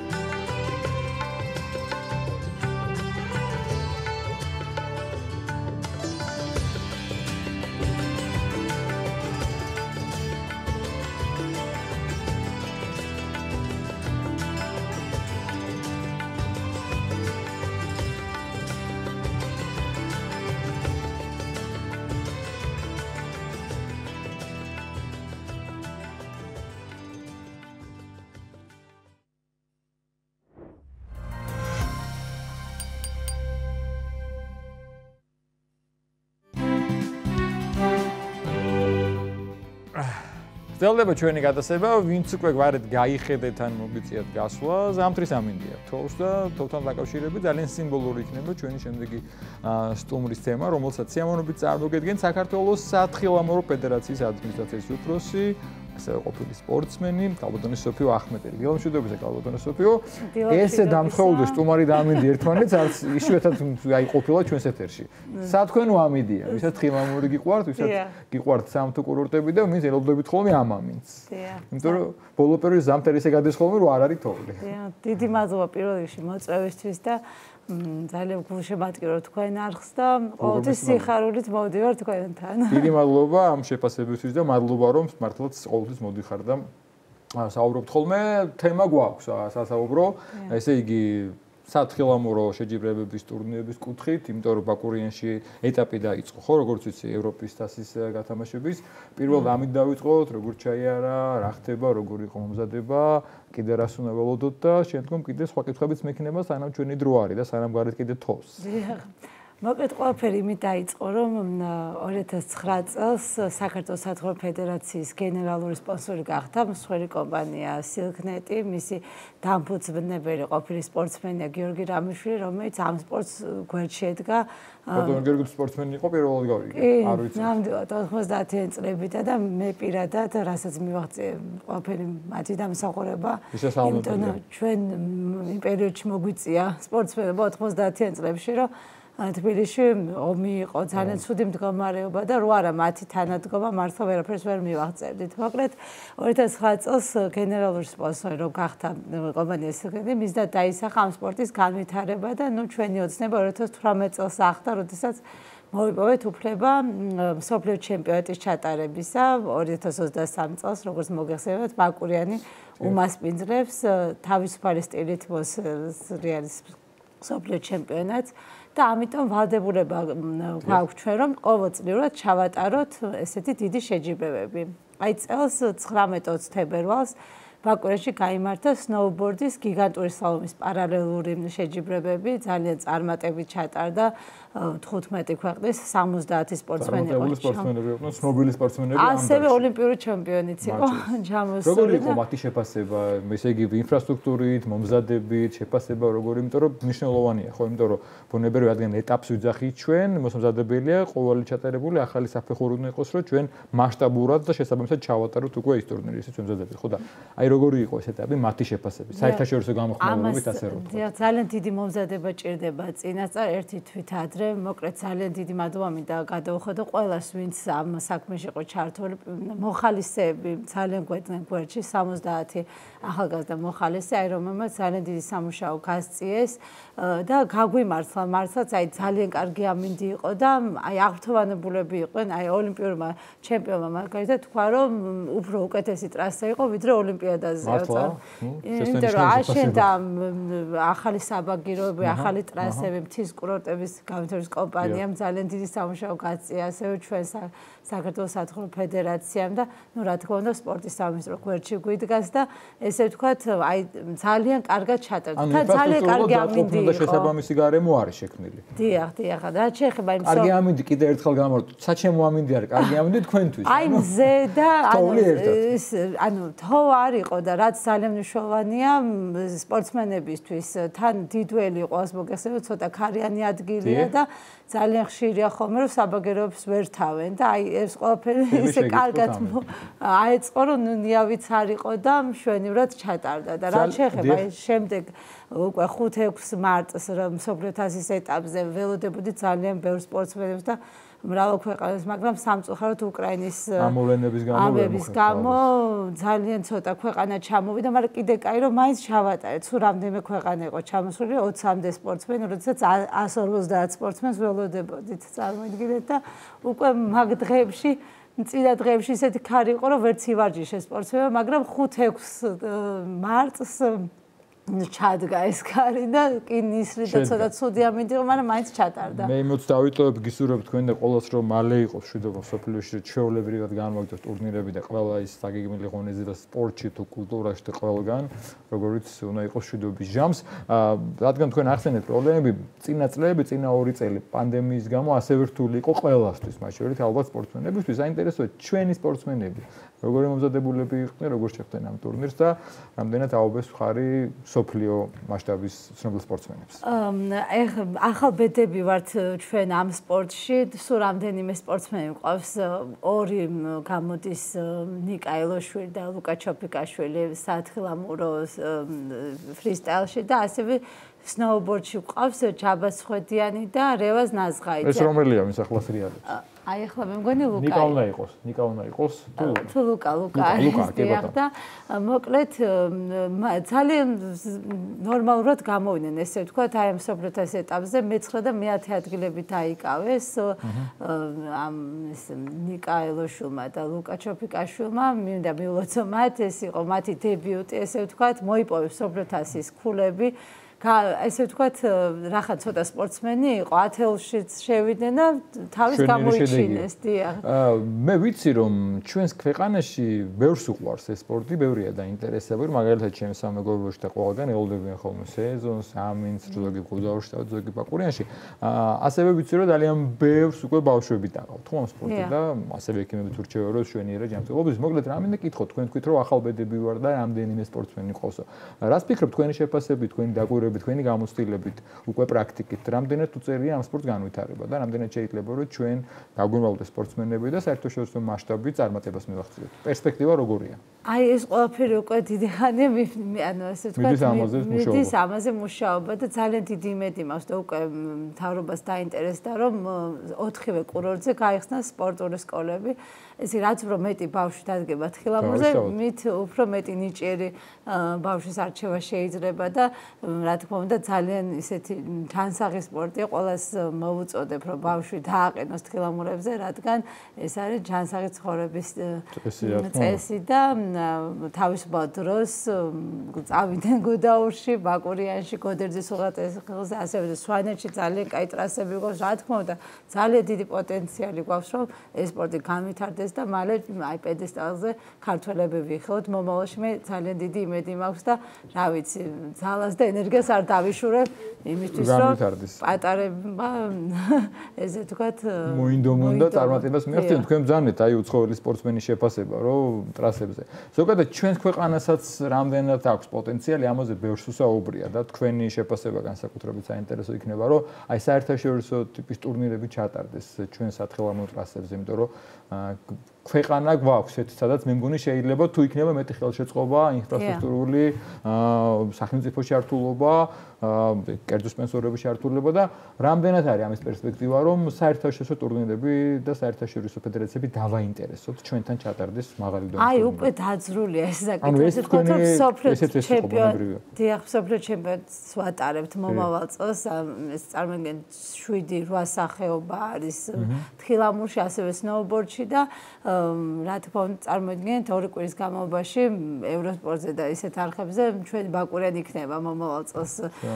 და ძალიან დიდი რეკლამა ესა და ამასთან დაკავშირებით უკვე წეგან აღნიშნე რომ უკვე გაკეთდა ძალიან ბევრი რაღაცა ბევრი საბაგირო აშენდა ახალი ტრასები ასევე ხელოვნური გათოვლიანება რაც ძალიან მნიშვნელოვანია საზღვარგარეთ უფლებას არ გვაძლევს საერთაშორისო საერთო ფედერაცია რომ რბილთოვზე, ანუ ბუნებრივზე ჩავატაროთ შეჯობ. დიახ, ამას დეტალები. ამას უნდა ძალიან დიდი მოწყობილობა, ესე ვთქვათ, ეხლა აი ამ გაზაფხულზე ახალი ტბები შენდება. ბაკურიანში იქნება, ხო? დიახ, იმიტომ რომ ეს წყლის რეზერვუარიდან ხდება ეს ხელოვნური გათოვლიანება. ანუ მაინც ჯერჯერობით ბაკურიანზე აქცენტი გაკეთებული. ბაკურიანში, რახან ბაკურიანში მრავალი, ანუ ბუნებრივად იყო, აი მოგულის ტრასა მაგეთად კოხტაზე, რატომღაც ბაკურიანი შეიძლება. თავიდან თითქოს ორივე სამბობდნენ, მაგრამ ძალიან რთული იქნებოდა.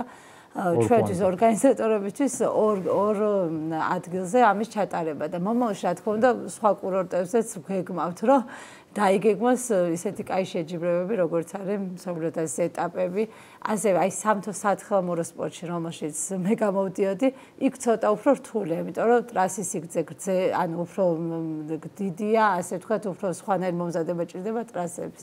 მაგრამ აი 2025 წელს კვალ ბაკურიანი უმასპინძლებს ოლიმპიადას ახალგაზრდა სპორტსმენებს დიდი პერსპექტივა აქვს ბაკურიანს მოკლედ. დიახ, ბაკურიანი ძალიან დიდი და ასე ყოველ სხვა კურორტებსაც რა თქმა უნდა. დიდი შესანიშნავია და მე ველოდები და იმედი მაქვს რომ ეს ყველაფერი დაიტვირთება შესაბამისად. სხვა სიახლეები ხო არ არის რამე თქვენთან ფედერაციაში სპორტის სამსახიობაში გარდა იმისა რაც ახლა იყო სულ რამდენიმე დღის წინ ჩატარებული და ეს იყო გადასარევი ეტაპის შემდგომი გრანდიოზული ესე იგი ეტაპისთვის. მოკლედ წელს როგორც მოგესალმებით ასე ოლიმპიადა ჩატარდა ორი გოგონა და ბიჭი ყავდა გაგზავნა გაგზავნილი სოსო ჯაფარიძე 32 და ნინო ციკლარმა 34 ადგილები დაიკავეს. აი ისინ სამთო სათხილმო სპორტში გამოდიან და მომავალ წელს მსოფლიო ჩემპიონატი ასევე სამთო ანუ მსოფლიო ჩემპიონატები ტარდება ორ წელიწადში ერთხელ ჩვენთან და ფრისტაილში ხო რო ჩვენ ვატარებ სამთო სათხილმო სპორტში არის ასევე და ნუ რა თქმა უნდა წელს ასევე სპორტსმენების მომზადება საფურის პერიოდში მათ ვაგზავნით ევროპაში მყინვარებზე ვარჯიშობენ მოკლედ მთელი ზაფხული ესე ვთქვათ და მომავალი წელს საბათ უფრო კარგად ჩატარდება საქართველოს თასის ეტაპებიც, რომელსაც ყოველწლიურად ვატარებდით და სამწუხაროდ აი ამ პანდემიის გამო შარშან საერთოდ ვერ მოხერხდა. წელს კი ვაპირებთ, რომ სვანეთში ჩატარდეს და ასევე გუდაურში საქართველოს თასის ეტაპები, სადაც 60-70 ბავშვი მონაწილეობს და იმედი მაქვს, რომ ჩავატარებთ. მეც იმედი მაქვს და გისურვებ, რადგან თქვენ არსენეთ ბავშვები და ცოტა ხნის წინ რამდენიმე წუთის გამომახულეთ ყურადღება, რამდენიმე წუთის წინ რომ ეს ასევე გარდამისორი სპორტია შესანიშნავი, ჯანმრთელობისთვის ძალიან კარგია. აი თქვენი რეკომენდაციები და რჩევები ძალიან მნიშვნელოვანი იქნება მშობლებისთვის. რა საკიდან შეიძლება ბავშვი მივაჩიო დავაყენოთ ხილამურზე და დავაინტერესოთ ამ სპორტით. ეხლა შეიძლება ყველა არ გაყვიდოს სპორტსმენი არ გამოვიდეს, მაგრამ ისწავლოს და თუნდაც სიამოვნებისთვის ის რეალოს ხოლმე. რა საკედან არის რეკომენდირებული? აი მაგალითად ავსტრიაში ჩემი თვალის მოგზნანახი ბავშვი ფეხს რო იდგავს. აღენება. ეგრევე თხილამურზე აყენებენ. დავიდამე, აი ორი წლიდან შეგიძლიათ შეაჩვიოთ ჩააცვათ ეს ათხმურო ჩექმათ ხილამური. ოღონდ ნუ რა თქმა უნდა თუ ბავშვს სიამოვნებს და მოწონს. თუ ტირის და ის არ დააწუხებს, იმიტომ რომ შეძლდება მთელი ცხოვრება და აი ესე პატარობინა რომ მიაჩვეთ, მე შიშიც არ ექნება და ძალიან ადვილად უკვე ადვილად ისწრებს 4-5 წლის ასაკში. აი რაც შეიძლება ადრე. კი ბატონო. არის ხოლმე რაღაც სახეობები სპორტის, მე როგორც ვიცი, რომ დაუშვოთ სპორტის ერთ სახეობაშია და რაღაც სხვა სახეობაც ხელს უწყობს განვითარებას.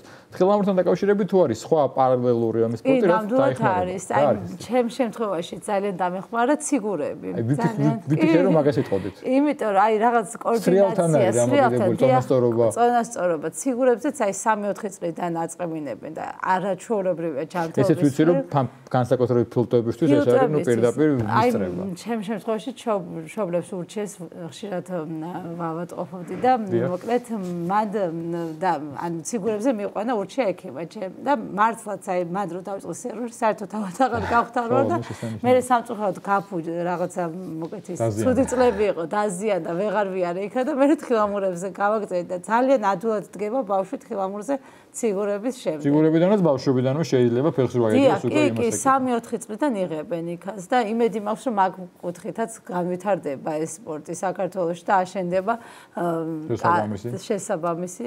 ინფრასტრუქტურული უღრმეს მადლობას გადაგიხდი და წარმატებებს გუსურვებ იმიტომ რომ მართლა შესანიშნავია თუ ეს განვითარდება და პირველი საფუძვლები ნაბიჯები დაწყებულია რა ეს ვისაუბრებთ მზად ვარ ყოველთვის მოგიწიოთ ვისაუბროთ და იმედია ყველა საუბრისას კიდე ახალი გვექნება მოსაყოლი. დიახ, ძალიან დიდი მადლობა, რომ ესე ინტერესდებით და წარმატებებს გისურვებთ. თქვენ მადლობა, მე შევახსენებ ჩვენს მაყურებელს, ჩვენი სტუმარი გახდათ საქართველოს სათხილამურო ფედერაციის ადმინისტრაციის უფროსი, თავად გამოცდილი სპორტსმენი, მალბოტონის სოფიო ახმეტელი და სამთო სათხილამურო სპორტის სიახლეებზე. საუბრობდით ამდენიმე წუთში უკვე მომდენო სტუმარი შემოგვიერთება რელიგიური ტურიზმის კუთხით ვისაუბრებ დაგვალოთ.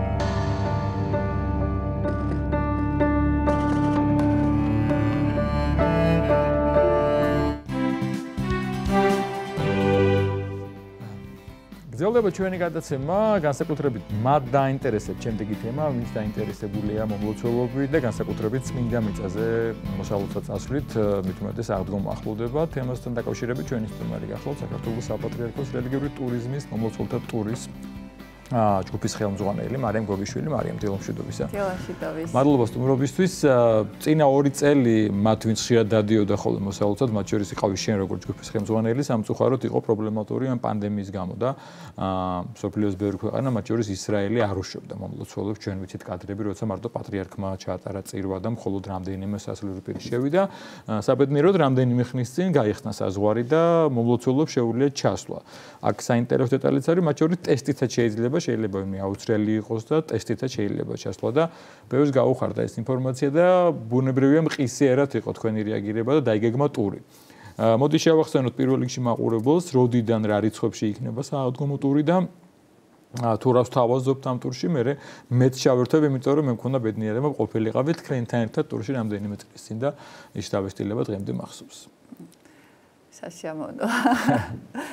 რაც შეეხება ტურს, დაგეგმილია 19 აპრილიდან 26 აპრილის ჩატარება. 24 აპრილს არის მარხულა აღდგომა წელს მაყურებელ შევახსენე. ეს არის ნების სამშაბათს გაფრენა და წინვალე სამშაბათს დაბრუნება. ანუ ჩვენ ყოველთვის ისე ვაკეთებთ ანუ საპატრიარქოს ტური არის ესეთი, რომ ნების კვირას აუცილებლად იქ ვიყავთ. ეს არის დიდი ხუჩაბათი, წითელი პარასკევი, ცეცხლის გადმოსვლა, აღდგომას იქ ხევხთეთ. მე წინვალე შვიდეულის 7 დღეები გავატაროთ ორშაბათი, სამშაბათი და უკან დავბრუნდეთ. ხო, ეს ძალიან კარგია, იმიტომ რომ უკვე ხდება ხოლმე რა ჩემი თვალით ნახე, ფაქტობრივად ცეცხლის გარდამოსვლის მერე უკვე თითქმის იცლება იერუსალიმი და საღამოს აღდგომის სახურება და შემდეგი დღეები ძალიან შვიდად ეძლევა მომლოცულ საშუალება რომ ტაძრების იწმინდა. იმულოს მანამდე ძალიან ბევრი ხალხია და ეს ადგას რიგებია და ასე შემდეგ. თუმცა მე უნდა აღვნიშნო რომ ამასაც თავის რაღაც ზეამნება აქვს, როცა აი აი ამ ხალხის ჭიდილში რომ აი მიშევა ეშევა და რაღაც აქაც არის ასე ამონო ცეცხლის გარდამოსვლა იმიტომ რომ ძალიან ბევრი სოფლიოდან ჩამ ათასობით ადამიანი ჩამოსული ელოდება ამ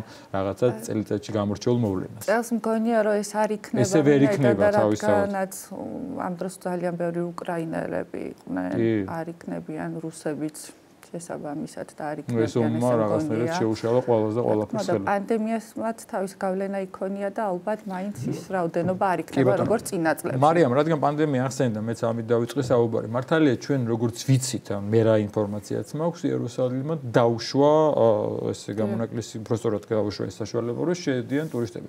აა ნებისმიერ შეიძლება ჩახლოთ, თუ მაინც რაღაც შეზღუდვა რეგულაცია არის. ან შეზღუდვა ის არის, რომ მაგალითად აცრილი ადამიანი მხოლოდ COVID პასპორტს არადგენს, რომ ის არის აცრილი. აჰა.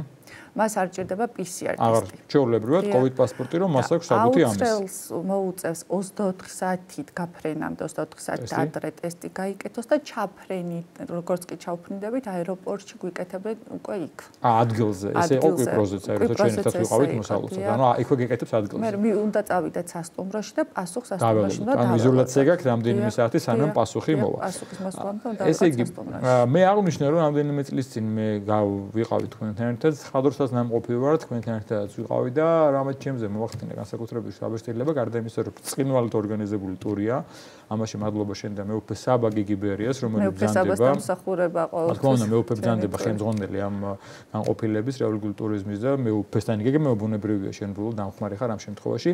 და რა ძალიან მომეწონა და ვინც არის ნამყოფიან წაყვება საპატრიარქოს ტურს ეს არის ძალიან კარგი რომ ფაქტობრივად რისი ნახვა შეიძლება ანუ ვიცით რომ ეს პალესტინასთან პრობლემებია და სადაც პოლიცია უშვებს მომლოცველს ყველაფერს ანახებთ ამ ერთ კვირაში ძალიან სასიამოვნო დილიდან საღამომდე დატვირთულია პროგრამა იგივე იქნება ამ წელსაც. რა თქმა უნდა, იგივე. გარდა აღდგომის ტაძრისა და გარდა შობის ადგილისა და გარდა ღვთისმშობლის საფლავის სადაც იყო დაბრძანებული, სხვა უამრავი მოსალუთ სიწმინდე მონასტრები, ადგილები, ფაქტობრივად სადაც მაცხოვრმა ფეხი დადგა და რაც უკავშირდება, აი მე ასე ვთქვი, რომ ჩამოვიდა ის სახარეება, რასაც კითხულობდი, ფაქტობრივად ჩემ თვალწინ ეს ყველაფერი გადაიშალა. პირველ პირველად მეც რო წავედი სახარება დამეხმარა, იმიტომ რომ არ ვიცოდი სად მივიდოდი, როგორ მივიდიოდი. და როგორც კი ჩავედი, აი თითქოს გადამეშალა ეს ოთხი თავის ახარება და იმის მიხედვით ვიარეთ და ძალიან გამიადულდა ამ. ლევანდელი ტურიც ასე იქნება და გეგმილი, ანუ სადაც შეიძლება საშუალება რომ მივიდეს მომლოცველი ყველგან მიხართ ხო? დატვირთვით ჩვენ ყოველთვის ისეთი გვაქვს დატვირთული, რომ ჯობია დაიღალონ, ვიდრე ისე წამოვიდნენ და არ ნახონ. დატვირთული არის ძალიან, დღეში ალბათ 7-8 ადგილი გვექნება მოსალოცი. მაგრამ უნდა ჩავერთო მარიამ სიმართლე გითხრა მიუხედავთ იმის რომ დილოს ადრე ვდგებოდით და საღამოს ბრუნდებოდით დაღლას ვერ უზნობდი. მე ახლა შეიძლება მე როგორ არის ხა მე არ მაქვს პრეტენზია რაღაც დიდ სულიერებაზე და არ დავფენო ნამდვილად მიწაზე ვდგავარ მყარად. მაგრამ აი ეს ბევრმა აღნიშნა რომ შეიძლება იმ ემოციის და შთაბეჭდილების გამო ისეთი დაღლა ახლა რო წარმოედინო ერთი კვირა მთელი დღეები გზაში ხარ მათ შორის ქალაქიდან ქალაქში გადაადგილდები ეს არ იყო დაღლა ეს იყო რაღაც უფრო ემოციური რაღაც შთაბეჭდილებები. შენ ბევრჯერ იყავი და შენ უფრო ვიცი ეს ყველაფერი კარგად. რა არის იცით არის ხოლმე რომ ადამიანებს მაგალითად უნდა რომ ერთხელ წამოვიდეს და ის რაც იგრძნეს იმ დროს იქ აღარ უნდათ რომ ის მეორეჯერ რო ჩავიდნენ ეშინიათ რომ არ დაკარგონ. მაგრამ ჩემ შემთხვევაში და ბევრი შემთხვევაში რაც არ და 20ჯერ 21-ეთ 22-ეთ მოდიოდეს ყოველი ჩასვლა ჩემთვის არის აი ეს სიხარული განახლება უკვე თითქოს ყოველ ჩასვლაზე უფრო და უფრო უახლოვდები იმ ადგილს და ბევრი არის ეს ახლა მე მყავს ჯგუფში წლები წინა პანდემიამდე რო დავდიოდით ყოველ აღდგომას მოდიან და ადამიანები მეუნდებიან ჩვენ ამით ვცხოვრობთ მარიან წლიდან წლამდე. ვცხოვრობთ რომ იერუსალიმში წამოვალთ აღდგომას და ეხლაც აი ეს ადამიანები არიან პირველი ასევე ერთი ძალიან საინტერესო დეტალია ყოველთვის მიყავთ სასულიერო პირი ჯგუფში არის ერთი ან რამდენიმე და ეს კარგი ემოციის რო სხვა სხვა ადგილებში სტარდება პარაკლისი ეძლევა ადამიანის ახსარების საშუალება ზიარების საშუალება და სასულიერო პერი ამისთვის ძალიან მნიშვნელოვანია. ხო, ქართველენოვანი ვისთანაც შეუძლიათ კონტაქტი. ყოველთვის გვახლავს სასულიერო პირი, სადაც პარაკლისებს იხდის.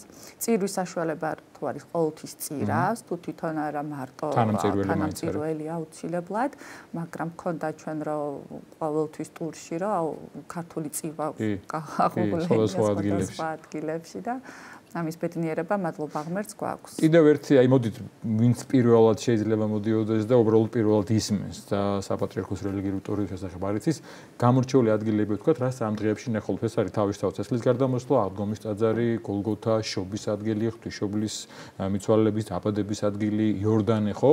და სხვა მნიშვნელოვანი მონასტრები. გალილეა. გალილეა. ძალიან ბევრი ადგილები, აი მაგალითად მამრეს მუხა, ქებრონში, შხემი, ეს არის იაკობის ჭა, ეს კუძველი აღთქმა. ბაზარეს აღდგინების ადგილი. აღდგინების ადგილი და ძალიან ბევრი. ადგილი სადაც მაცხოვარი 40 დღე მარხულობდა. აი ჩვენ აი ყოველთვის ვთილობთ რომ რომ წამოვა ადამიანი, ეს მომლოცველია თუ არა ეკლესიური, არა ეკლესიური, რომ მრევლი არ არის. ყოველთვის ვცდილობთ, რომ იმან მაქსიმუმი ნახოს, იქ რაც ანახავი არის, აი სრულად დაიტვირთოს თვითონ ამ სანახაობით, ამ სიწმინდეებით, ეზიაროს, ილოცოს, შეეხოს იმ ხალხ დიდ სიწმინდეებს, მაცხოვრის საფლავზე დიდი ჩემთვის ახლა იქ იქ რო დადგები და აღდგომას იქ შეხვდები იქ ეზიარები, საიდანაც იქ ამბობ ქრისტე აქს გაიჭეშ, მაგდაც საიდანაც. გოლგოთაზე ხარ პარასკევს, საჯვარზე გა. და იმ ნების გზას გადიხარ. სადაც მაცხოვარმა გაიარა წამებით. სადაც იყო ის საპატიო და მარიამ ასევე მე უნდა აღნიშნო ჯეიმ მადლიერებით შესანიშნავად ორგანიზებული ის ყველაფერი, მათ შორის კომფორტული ავტობუსი და გიდი, რომელიც ყოველთვის არის, რომელიც ყველა დეტალს სადაც მიდის მომლოცველი უხსნის საფუძვლიანად. ხო, ესე ძალიან მნიშვნელოვანია და ესე ძალიან კომფორტულია მომლოცველისთვის. კი, ყოველთვის ისეთი გამორჩეული მართმადიდებელი ისენი კოსტუმი გიდი, რომ აბა ქართველებო ილოცეთ. კი, ამაღლების ადგილის და ბევრი მოკლედ. ასევე მნიშვნელოვანი დეტალი, მათ ვისაც მოუნდება რომ თქვენ წამოყვეთ. ამისთვის რა არის საჭირო? სად უნდა მოვიდნენ, რა საბუთებია და როგორც ვიცი, რეკომენდაციაც საჭიროა მოძროთ ხოლოდ პასპორტი არ ყმარ, ან უბრალოდ ბილეთის თანხა. აუცილებლად უნდა მოიტანონ მოძღვრის რეკომენდაცია, ანუ მისმა მოძღვარმა პასუხისმგებლობა უნდა იყოს თავზე, რომ ეს არის მისი სული პატიოსნად მოიქცევა. პატიოსნად მოიქცევა და იქ სხვა განზრახვა არ ექნება. ესეთებით იყო სამწუხაროდ, როცა რჩებოდნენ და ეს ეს ზიანს აყენებდა საქართველოს საპატრიარქოს, იმიტომ რომ საპატრიარქოს სახელით მიდის ეს ძალიან დიდ ზიანს გვაყენებდა, ძალიან დიდი პრობლემები შეგვიქმნეს მე საზღვარზე. აა სამსახურიდან ცნობა ხელფასის მითითებით პასპორტის ასლი და თანხას. როდიდან მიიღება დაიწყო მიიღება ვინაიდან და რადგანაც ამ წასვლაზე ვართ, ამ წლის წასვლაზე ვართ შეზღუდულები ადგილზე. აა, რაოდენობრივად. რაოდენობრივად ვართ სამწუხაროდ შეზღუდულები, ამიტომ ურჩა ყველას, რომ ვისაც აქვს სურვილი ჩაეწერნა სასწრაფოდ. აა, ახლა როგორ ხდება, მარიამ, ეს ონლაინ ხდება თუ შეუძლიათ მოვიდნენ კონკრეტულ ადგილას, სადაც განაცხადები მიიღება? ვინაიდან და რადგანაც საპატრიარქოში ჩვენ პატრიარქს უფრთხილდებით და ისე აღარ კი ბატონო, каранტინი ერთგვარი გამოცხადებული პანდემიის გამო.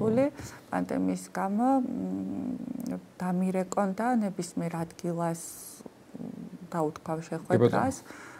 შენ პირადი სოციალურ გვერდში თუ არის ცალკე სოციალურ გვერდი თქვენი რელიგიური ტურიზმის თუ როგორ მოგძებნო, სად მოგძებნო, Facebook გვერდიც გაქვს, მაგრამ გოგიშვილი სახელი და გვერდი გვარი და იქ შეუულიათ კონტაქტი და ნებისმიერ სრულ შეუულია ეს სიამოვნება მიიღოს. კიდევ ერთხელ შევახსენოთ, რა რიცხვებში გამართება ეს ტური, როდის მიმიდიხარ და როდის ბრუნდებით. ეს აპრილიდან 26 აპრილის ჩათვლით. ერთკვირიანი ტური. კი ბატონო და ვინაიდან ჩვენი სტუმარი ხარ ვისარგებლო შემთხვევით და ვისარგებლეთ მომენტით რომ საზრები იხსნება და მეტნაკლებად აღდგა ფრენები. სხვა ტურების თუ გაგეგმება იმიტომ რომ გარდა იერუსალიმისა თქვენი ტურიზმის განყოფილება საპატრიარქოსი ბევრ ტურს თავაზობდა მათ შორის წინვალე ტურს აბერდნეთში კერკირაზე ბარში და სხვადასხვა ადგილებში. ესენის თუ განახლდება მერთმა მშვიდობა მოგმადლოს და მშვიდობა იყოს პირველ რიგში იგეგმება მაისში შემდეგ უკვე აქ დგომის შემდეგ მაისში იგეგმება საბერძნეთის ტური. კერკირა წმინდა სპირიდონთან. კი ერთკვირიანი ტური არის ისეც არაჩვეულებრივი როგორც სიწმინდეები, ცილამაზით, ანახაობრივად არის ძალიან. ჩემი შტაბშტილებები აქაც მაღალია. ჩვენი მეგზური ხარ. კი ბატონო. მოკლედ დიდი მადლობა მარიამ, მიგისურვებ წარმატებებს და მათ ვინც დაინტერესებული ხართ რელიგიური ტურიზმით და ამ შემთხვევაში სააღდგომო პერიოდში წმინდა მეტის მოლოცვით შეგიძლიათ საპატრიარქოს რელიგიური ტურიზმის მეშვეობით მოველოცოთ წმინდა მიწა, მაგრამ გოგიშვილი გახდა ჩვენი სტუმარი საპატრიარქოს რელიგიური ტურიზმის განყოფილების წარმომადგენელი. მე კახა მიქიაშვილი უახლოესი საათნახევრის განმავლობაში მუშაობდი თქვენთან. წარმატებებს გისურვებთ ბედნიერ დღეს, მშვიდობას გისურვებთ, მშვიდობა უკრაინას, სოფლიო საქართველოს და ბედნიერ შაბათ-კვირას გისურვებთ, ორ შაბათს ვალგალოდებით ტელეეკრანებთან დროებით.